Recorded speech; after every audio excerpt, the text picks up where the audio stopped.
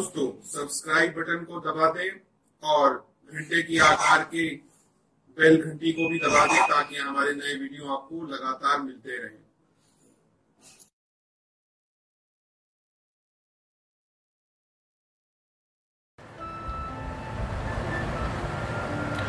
नमस्कार दोस्तों, धर्म रहस्य चैनल पर आपका एक बार फिर से स्वागत है।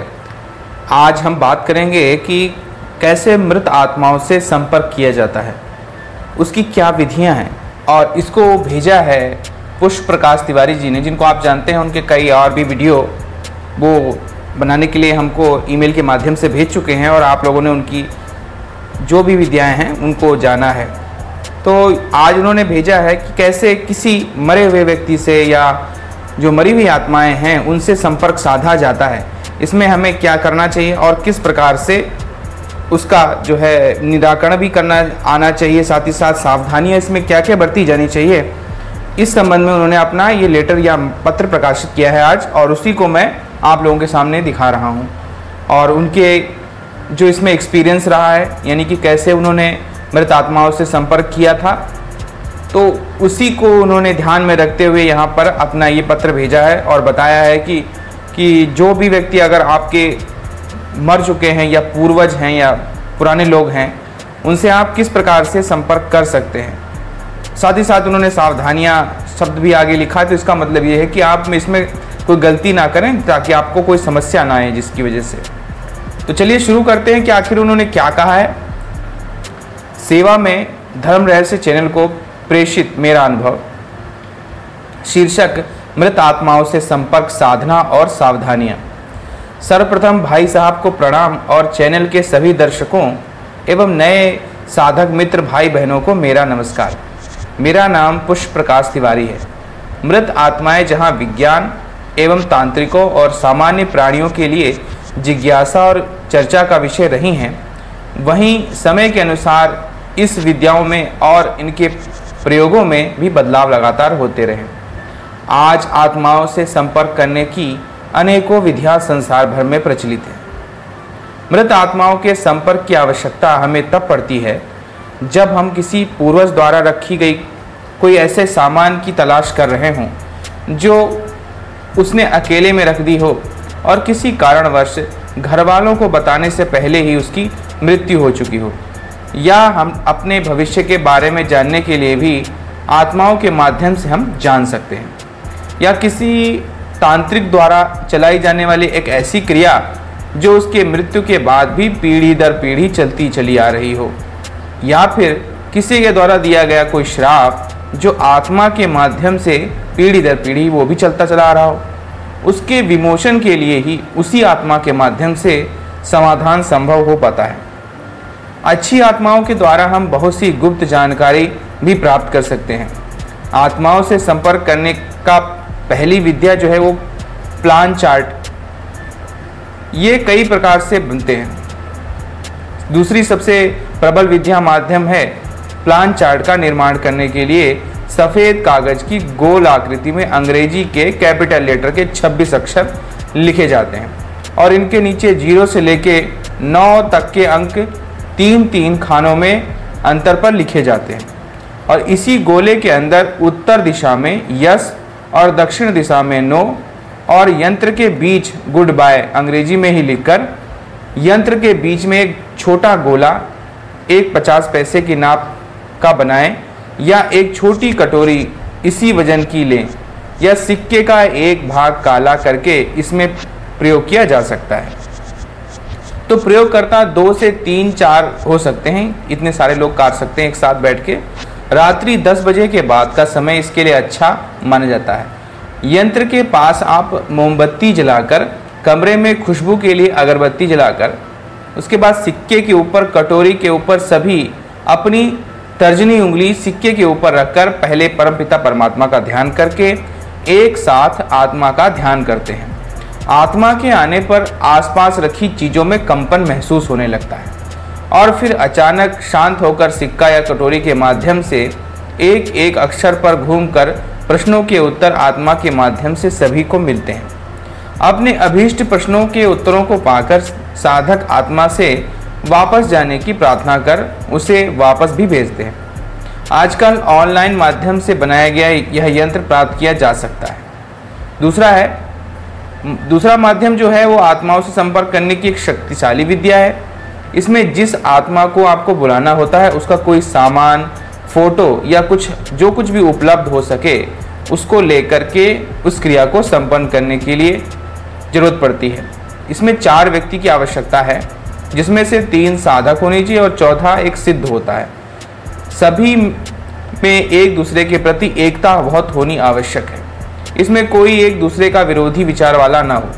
सबसे पहले सामान के पास एक मोमबत्ती को जलाकर अगरबत्ती जलावें और यंत्र को बीच में रखकर उसके पास भी मोमबत्ती जलाएँ। यंत्र के सामने इस प्रकार से बैठे कि सिद्ध का मुँह उत्तर दिशा की तरफ़ हो और साधक आमने सामने चारों तरफ़ बैठे हुए हों। तो इस प्रकार आप यंत्र पर अपने हाथ को आप रखेंगे और सभी के अंगूठे से अंगूठे और कनिष्ठिका एक दूसरे से परस्पर जुड़ी रहे। यानी कि सारे सारे अंगूठे सबके जुड़े हुए होंगे और जो सबसे छोटी वाली उंगली है, वो भी आपस में एक दूसरे से जुड़ी रहेगी।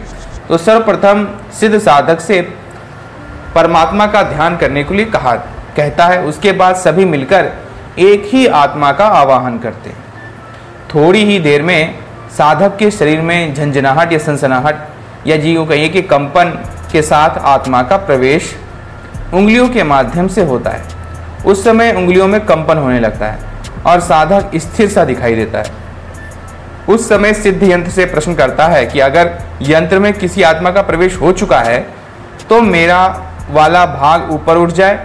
तो यंत्र का ऊपर भाग जो होता है वो ऊपर उठते ही फिर आत्मा द्वारा उसको यथा स्थान पर फिर प्रश्न किया जाता है। हर बार यंत्र अपने स्थान से ऊपर नीचे होकर जवाब देता रहता है। इसी प्रयोग को मंत्र की सहायता से साधक और सिद्ध एक दूसरे का हाथ पकड़कर भी कर सकते हैं। लेकिन यह बहुत खतरनाक है, क्योंकि इसमें शरीर, आत्मा शरीर में आकर एक साथ सभी प्रश्नों के उत्तर देती है और फिर सिद्ध इसे वापस मंत्रों की सहायता से भेज देता है। यह साधना केवल नए साधक एवं दर्शकों के लिए जानकारी हेतु दी गई है। इसमें मंत्रों को गुप्त रखा गया है, जिससे किसी को नुकसान न हो। प्लान चार्ट और के माध्यम प्रयोग करने के लिए कुछ सावधानियों की आवश्यकता होती है।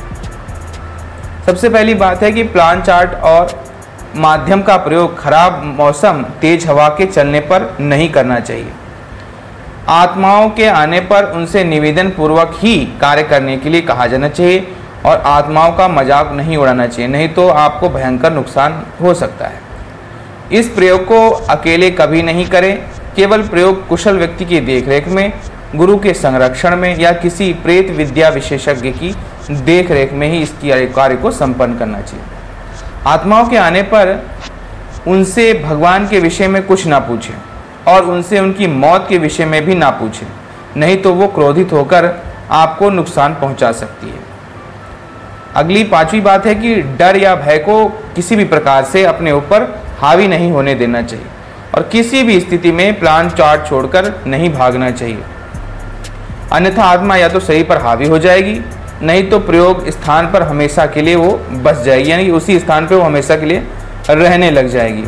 इस बात को समझ के ही आदमी को कार्य करना चाहिए।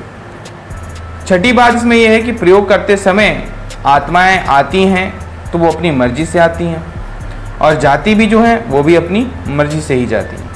तो अगर आत्मा जाने के लिए मना कर दे, किसी वजह से ऐसा हो सकता है तो परेशान होने की आवश्यकता नहीं है। थोड़ी देर बाद फिर से प्रयास करें, ये मेरा स्वयं का अनुभव है और थोड़ी देर में वो जाने के लिए तैयार हो जाएगी। तो इस प्रकार से पुष्प प्रकाश तिवारी जी ने यहाँ पर इसका मतलब ये प्रयोग करके भी देखा है। तो ये कह रहे हैं कि अगर जल्दी आत्मा वापस नहीं जाती है तो एक बार फिर से पुनः पुनः जो है प्रयास करते रहें ताकि वो, फिर वो जाने के लिए तैयार हो जाती है।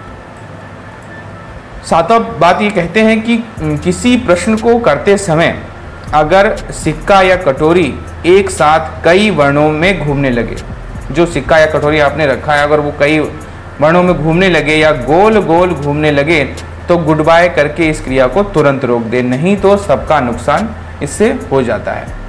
इसलिए मतलब इस तरह की कभी स्थिति पैदा हो सकती है किसी के आगे की वो सिक्का या कटोरी जो है कई वर्णों में चारों तरफ़ से इधर से घूमने लगे तो वो शक्ति प्रबल है इसका मतलब बहुत ही प्रबल है।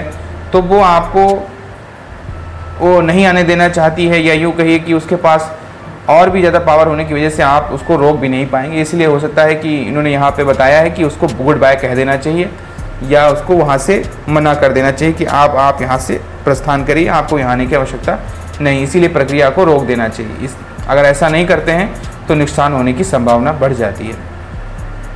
इसके साथ ही मैं अपनी वाणी को विराम देता हूँ और एक बार फिर चैनल के सभी दर्शकों एवं नए साधक, मित्र भाई बहनों को मैं अपना नमस्कार करता हूँ और भाई साहब को प्रणाम करता हूँ और बहुत बहुत उनका धन्यवाद कि आज उनकी इस पहल से हम लोग जहाँ पुरानी दुर्लभ जानकारियों को जान पा रहे हैं, वहीं धर्म रहस्य चैनल के माध्यम से प्रेरणा और ज्ञान एक साथ मिल रहा है।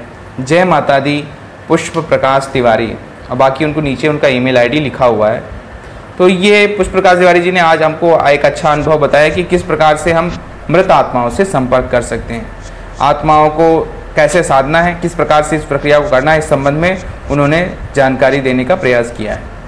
तो अगर आपको ये जानकारी पसंद आई हो तो लाइक करें, शेयर करें, सब्सक्राइब करें। आपका दिन मंगलमय हो। धन्यवाद।